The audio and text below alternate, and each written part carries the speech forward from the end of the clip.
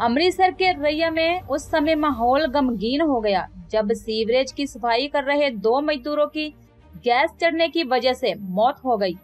Police ने मौके पर पहुंचकर शव को कब्जे में लेकर जाँच शुरू कर दी है। इलाका निवासियों ने किसी तरह से दोनों युवकों को शिविर से बाहर निकाला, लेकिन तब तक उनकी मौत हो चुकी थी। मृतकों की पहचान विजय प्रताप सिंह और मुकेश के रूप में हुई है। दोनों मुलाजमों के पास सेफ्टी बेल्ट ना होने की वजह से ये घटना घटी करीब एक घंटे की मुश्किलों के बाद दोनों के शवों को बाहर निकाला गया मृतकों के परिजनों का कहना है कि अगर इन्हें सीवरेज से जल्दी बाहर निकाला जाता तो शायद इनकी जान बच जाती ਨਹੀਂ ਕੀਤੀ ਉਹਨਾਂ ਨੇ ਉਹਨਾਂ ਮੇਰੇ ਵੀਰ ਦਾ ਪੁੱਛਿਆ ਨਹੀਂ ਕੀ ਉਹਨਾਂ ਕਰਨਾ ਕੀ ਨਹੀਂ ਲਾਗੋ ਹੀ ਭੱਜ ਗਏ ਕਾਹਦੇ ਅਫਸਰ ਬਣੇ ਇਹ ਫਿਰਦੇ ਕੌਣ ਭੱਜੇ ਲੱਗੂ ਉਹ ਦੇਸ਼ ਵਾਲਾ ਸ਼ੀਲਾ ਵਾ ਜਿੰਨੇ ਵੀ ਇਹ ਕਾਂਗਰਸੀ ਅਫਸਰ ਸਾਰੇ ਉੱਡ ਗਏ ਲਾਗੋ ਕੋਈ ਇਨਸਾਫ ਨਹੀਂ ਕਰਦੇ ਧੱਕਾਸ਼ਾਹੀ ਕਰਦੇ ਰੱਖੇ ਉਹਨਾਂ ਬੱਚਿਆਂ ਦੀ ਮੌਤ ਕਰਦੀ ਕੌਣ ਜ਼ਿੰਮੇਵਾਰ ਹੈ ਤੁਹਾਡੇ ਕੀ ਰਿਸ਼ਤਾ ਸੀ ਤੁਹਾਡਾ ਮੇਰਾ ਕੀ? ਵੀਰ ਹੈ ਅੱਛਾ। ਛੋਟਾ ਮੇਰਾ ਪੁੱਤ। ਹੁਣ ਕੀ ਚਾਹੁੰਦੇ ਪ੍ਰਸ਼ਾਸਨ ਨੂੰ? ਮੇਰੇ ਵੀਰ ਦਾ ਇਨਸਾਫ ਚਾਹੀਦਾ ਵਾ ਜਿੱਦਾਂ ਮਰਜ਼ੀ ਦੇਣ ਅਸੀਂ ਕਹਾਂ ਸਾਰੀ ਸਰਕਾਰ ਦੇ ਵਟ ਖਿਲਾਫ ਚੱਲਾਂਗੇ। ਕੀ ਨਾਂ ਤੁਹਾਡਾ? ਨਾ ਤੁਹਾਡਾ? ਮੇਰਾ ਨਾਮ ਤਰਲੋਚਨ ਸਿੰਘ ਜੀ। ਤਰਲੋਚਨ ਸਿੰਘ ਜੀ ਕੀ ਕਹਿਣਾ ਚਾਹੁੰਦੇ ਹੋ? ਕੀ ਹੋਇਆ ਅੱਜ? ਥੱਲੇ ਗੱਲ ਵੇਖੋ ਬੱਚੇ ਨੇ ਸੀਵਰੇਜ ਦਾ ਕੰਮ ਕਰਦੇ ਠੇਕੇਦਾਰ ਨਾਲ। ਕੋਈ ਉੱਥੇ ਸਹੂਲਤ ਨਹੀਂ ਹੈਗੀ ਕੋਈ ਕੁਛ ਨਹੀਂ ਹੈਗਾ ਕੋਈ ਪ੍ਰਬੰਧ ਨਹੀਂ ਹੈਗਾ। ਧੱਕੇ ਨਾਲ ਨੂੰ ਵਾਰਦੇ ਆ। ਕੋਈ ਸੇ ਹੈ ਨਹੀਂ ਉਹ ਢੱਕਣ ਖੋਲੇ ਉਹਨੂੰ ਕਿਤੇ ਫਟਾਫਟ ਕੰਮ ਕਰ ਇਹ ਗਲੀ ਕਿਹਦੀ ਲੱਗਦੀ ਇਹ ਠੇਕੇਦਾਰ ਦੀ ਜੀ। ਪ੍ਰਸ਼ਾਸਨ ਦੀ ਗਲਤੀ ਨਾਲ ਠੇਕੇਦਾਰ ਕਿਦੋਂ ਤੋਂ ਲੱਗੇ ਆ ਜੀ ਕੰਮ ਕਰਨ? ਇਹਨਾਂ ਤੋਂ ਬਹੁਤ ਚਿਰ ਹੋ ਗਿਆ 5-7 ਸਾਲ ਹੋ ਗਿਆ ਕੰਮ ਕਰਦਿਆਂ ਨੂੰ ਠੇਕੇਦਾਰੀ ਜੀ। ਪਰ ਅੱਜ ਕੀ ਗੱਲ ਹੋਈ? ਅੱਜ ਮਹਾਰਾਜ ਡਿਊਟੀ ਗਏ ਆ ਘਰੋਂ। ਹੁਣ ਅਸੀਂ ਤੇ ਘਰੇ ਸੀਗੇ ਸਾਨੂੰ ਜਦੋਂ ਫੋਨ ਆਇਆ ਇੱਕ ਫੇ ਗਏ ਮੌਕੇ ਤੇ ਤੇ ਇੱਕ ਘੰਟਾ ਵਿੱਚ ਰਹੇ ਪੌਣਾ ਘੰਟਾ।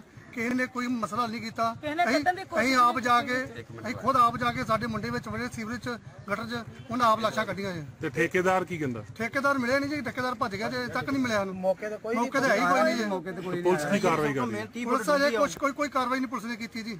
ਅੱਛਾ ਕੀ ਮੰਗ ਕਰਦੇ ਤੁਸੀਂ? ਅਸੀਂ ਮੰਗ ਇਹ ਕਰਦੇ ਆ ਵੀ ਜਿਹੜੀ ਬਣਦੀ ਕਾਨੂੰਨੀ ਕਾਰਵਾਈ ਆ ਇਹਨਾਂ ਤੇ ਕੀਤੀ ਜਾਵੇ। ਕਿਹਦੇ ਉੱਤੇ?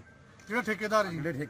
ਕੀ ਨਾਂ ਕੀ ਤੁਹਾਡੇ ਅਹ, ਬੰਦਿਆਂ ਦਾ? ਜਿਹੜਾ ਵੀ ਹੈਗਾ ਜੀ ਠੇਕੇਦਾਰ ਦਾ ਤੁਹਾਡੇ ਬੰਦਿਆਂ ਦਾ ਨਾਂ ਤੁਹਾਡੇ ਕੀ? ਬੰਦੇ ਦਾ ਕੀ ਨਾਮ ਸਾਡੇ ਮੁੰ- ਬੰਦੇ ਵਿਜੇ ਪ੍ਰਤਾਪ ਸਿੰਘ। ਦੂਜੇ ਦਾ। ਦੂਜੇ ਦਾ। ਰਕੇਸ਼? ਕਿੱਥੋਂ ਦੇ ਰਹਿਣ ਵਾਲੇ ਆ? ਇਹ ਇੱਕ ਰਈਏ ਤੇ ਇੱਕ ਭਲਾਈਪੁਰ ਦਾ ਜੀ। ਇਹਦੇ ਬਾਰੇ ਤੁਸੀਂ ਉਹਨਾਂ ਦੇ ਅਹ, ਜਿਹੜਾ ਪ੍ਰਸ਼ਾਸਨ ਆ ਮਿਊਨਿਸਪਲ ਕਾਉਂਸਲ ਨੂੰ ਸ਼ਿਕਾਇਤ ਕੀਤੀ ਇਹਦੇ ਬਾਰੇ ਉਹ ਕੀ ਕਹਿ ਰਹੇ ਨੇ? ਹਾਂਜੀ ਮੌਕੇ ਤੇ ਪਰ ਅਜੇ ਤੱਕ ਸਾਨੂੰ ਇਹ ਕਹਿੰਦਾ ਕੋਈ ਸਾਨੂੰ ਕਲੀਅਰ ਨਹੀਂ ਕੀਤਾ ਹੈਗਾ। ਕੋਈ ਰਾ- ਕੋਈ ਰਾਜਨੀਤਿਕ ਆਇਆ ਲੈਂਦਾ ਤੁਹਾਡੇ ਇੱਥੇ? ਹਾਂਜੀ ਰਾਜਨੀਤਿਕ ਨੇਤਾ ਇਹ ਆ ਜੀ। ਕਿਹੜੇ? ਤੁਹਾਡੇ ਤੇ ਦਬਾਅ ਪਾ ਰਿਹਾ ਕੋਈ? ਸਾਡੇ ਤੇ ਅੰਡਰ ਪ੍ਰੈਸ਼ਰ ਪੈ ਰਿਹਾ ਜੀ ਕਿਸੇ ਨਾ ਕਿਸੇ ਦਾ ਇਦਾਂ ਹੀ। ਵੀ ਇਦਾਂ ਕਰ ਲਓ ਇਹ ਕਰ ਲਓ ਉਹ ਕਰ ਲਓ। ਕੌਣ ਨੇ ਉਹ? ਸਹੀ ਤਰੀਕੇ ਨਾਲ ਬਹੁਤ ਆ ਜੀ ਬਹੁਤ ਜ਼ਿਆਦਾ ਪਾਰਟੀ ਇੱਥੇ ਆਈ ਹੈ ਜੀ। ਨੇ ਕਿਹੜੀ ਪਾਰਟੀ ਮਤਲਬ ਕਾਂਗਰਸ ਅਕਾਲੀ ਦਲ ਕਿਹੜੀ ਪਾਰਟੀ ਆਮ ਆਦਮੀ ਜਿਹੜੀ ਕਿਹੜੀ ਪਾਰਟੀ ਤੁਹਾਡੇ ਪ੍ਰੋਜੋ ਪਾ ਰਿਹਾ? ਇਹ ਸਾਰੇ ਜੀ ਕਾਲੀ ਵੀ ਕਾਂਗਰਸ ਵੀ ਹੈ ਹੁਣ ਕੀ ਮੰਗ ਕਰਦੇ ਤੁਸੀਂ? ਅਸੀਂ ਤਾਂ ਇਹ ਕਹਿੰਦੇ ਵੀ ਚਲੋ ਬਣਦੀ ਕਾਨੂੰਨੀ ਉਹ ਕਾਰਵਾਈ ਕੀਤੀ ਜਾਵੇ ਤੇ ਗਾਂ ਵੀ ਕਿਸੇ ਦਾ ਕੋਈ ਬੱਚੇ ਦਾ ਨੁਕਸਾਨ ਨਾ ਹੋਵੇ ਜੀ। ਤੇ ਇੱਥੇ ਕੋਈ ਪ੍ਰਬੰਧ ਹੋਣਾ ਚਾਹੀਦਾ ਜੀ। ਸਰ ਕਮੇਟੀ ਨੂੰ ਕਮੇਟੀ ਨੂੰ ਹਜੇ ਤੱਕ ਕਮੇਟੀ ਨੇ ਕੋਈ ਪ੍ਰਬੰਧ ਨਹੀਂ ਕੀਤਾ ਠੇਕੇ ਦੇ ਠੇਕੇ ਦੇ ਦੇਣ ਦੇ ਠੇਕੇਦਾਰਾਂ ਨੂੰ ਠੇਕੇ ਤੇ ਕੋਈ ਸੀਵਰੇਜ ਦਾ ਕੋਈ ਵੀ ਗੈਸ ਕੱਢਣ ਦਾ ਤਰੀਕਾ ਜਾਂ ਕੋਈ ਕੋਈ ਸੇਫਟੀ ਨਹੀਂ ਹੈਗੀ। ਕੁਝ ਨਹੀਂ ਹੈਗਾ ਇਹਨਾਂ ਨੇ ਇਹ- ਕੋਈ ਸੇਫਟੀ ਬਿਲਟ ਨਹੀਂ ਇਹ ਹੈਗੀ। ਕਮੇਟੀ ਦੀ ਨਿਗਰਾਨੀ ਦੇ ਠੇਕੇਦਾਰਾਂ ਦੇ ਕਾਰਨ ਇਹ ਹਾਦਸੇ ਹੋ ਰਿਹਾ ਜੀ। ਇੱਕ ਮਿੰਟ ਨਾਂ? ਭਾਈ ਮੇਰਾ ਨਾਮ ਰੋਹਿਤ ਕੋਸ਼ਿਕਾ ਅੱਜ ਤੋਂ ਮੈਂ 15 ਦਿਨ ਪਹਿਲਾਂ ਫੇਸਬੁੱਕ ਤੇ ਸਾਰਾ ਕੁਝ ਪਾਇਆ ਸੀ ਕਿ ਸੀਵਰੇਜ ਭਰੇ ਹੈਗੇ ਆ।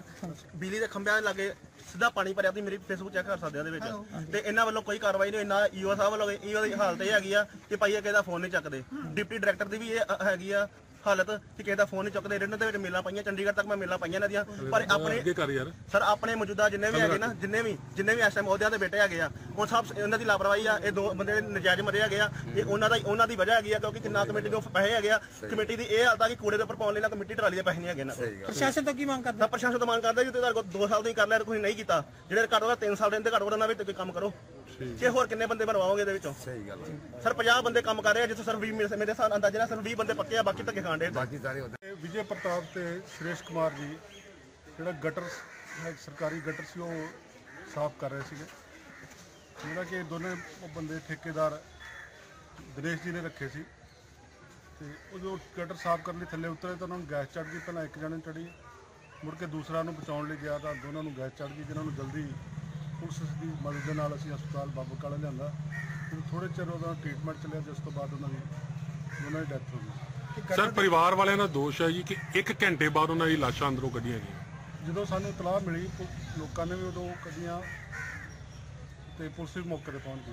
ਤੇ ਦ- ਪਰਿਵਾਰ ਵਾਲੇ ਕਿਹਦੇ ਤੇ ਦੋਸ਼ ਕਿਹਦੇ ਤੇ ਕਸੂਰ ਅਜੇ ਮੰਨਦੇ ਉਹਨਾਂ ਜੀ? ਦੀ ਸਟੇਟਮੈਂਟ ਜੀ ਲੈ ਰਹੇ ਆ ਤੇ ਉਹਨਾਂ ਜੋ ਸਟੇਟਮੈਂਟ ਦੇਣਗੇ ਉਹਦੇ ਮੁਤਾਬਕ ਅਸੀਂ ਨਹੀਂ ਕਾਰਵਾਈ ਉਹਨਾਂ ਦਾ ਦੋਸ਼ ਇਹ ਆ ਕਿ ਉਹ ਪੂਰਾ 45 ਮਿੰਟ ਤੋਂ 1 ਘੰਟਾ ਲਾ ਲਓ ਤੁਸੀਂ 1 ਘੰਟਾ ਗਟਰ ਦੇ ਵਿੱਚ ਰਿਹਾ ਉਸ ਵਕਤ ਨਾ ਕੋਈ ਅਧਿਕਾਰੀ ਪੁਲਿਸ ਦਾ ਤੇ ਨਾ ਕੋਈ ਉਹਨਾਂ ਦਾ ਮਤਲਬ ਕੋਈ ਵੀ ਪ੍ਰਸ਼ਾਸਨਿਕ ਅਧਿਕਾਰੀ ਜਦੋਂ ਪੁਲਿਸ ਨੂੰ ਤੇ ਐਸਡੀਐਮ ਸਾਹਿਬ ਨੂੰ ਪਤਾ ਲੱਗਾ ਸੀ ਉਸ ਵੇਲੇ ਮੌਕੇ ਤੇ ਪਹੁੰਚ ਗਿਆ ਜਦੋਂ ਸਾਨੂੰ ਇਨਫੋਰਮੇਸ਼ਨ ਮਿਲੀ। ਪੁਲਿਸ ਕੀ ਕਾਰਵਾਈ ਕਰੇਗੀ ਪੁਲਿਸ ਉਹਨਾਂ ਦੇ ਜੋ ਵੀ ਸਟੇਟਮੈਂਟ ਦੇਣਗੇ ਉਹਨਾਂ ਦੀ ਮਾਤਾ ਜਾਂ ਪਿਤਾ ਕਰਨ ਵਾਲਿਆਂ ਦੇ ਉਹਦੇ ਖਿਲਾਫ ਅਸੀਂ ਲੀਗਲ ਐਕਸ਼ਨ ਲਵਾਂਗੇ ਤੇ ਉਹਨਾਂ ਨੂੰ ਅਸੀਂ ਅਰੈਸਟ ਕਰਾਂਗੇ। ਪਰਿਵਾਰ ਵਾਲਿਆਂ ਨੇ ਕੀ ਮੰਗ ਰੱਖੀ ਹੈ? ਹਜੇ ਚੱਲ ਰਹੀ ਗੱਲਬਾਤ ਜੀ ਐਸਪੀਡੀ ਸਾਹਿਬ ਵੀ ਆਏ ਨੇ ਐਸਡੀਐਮ ਸਾਹਿਬ ਬੈਠੇ ਨੇ ਗੱਲਬਾਤ ਚੱਲ ਰਹੀ ਹੈ ਜੋ ਵੀ ਮੰਗ ਰੱਖਣਗੇ ਉਹਦੇ ਮੁਤਾਬਕ ਅਸੀਂ ਉਹਨਾਂ ਦੀ ਜਾਇਜ਼ ਮੰਗ ਜਿਹੜੀ ਪੂਰੀ ਕਰਾਂਗੇ पुलिस के आला अधिकारियों के मुताबिक परिजनों के बयानों के आधार पर कार्रवाई की जाएगी अमृतसर से प्रगट सिंह और कंवलजीत सिंह की रिपोर्ट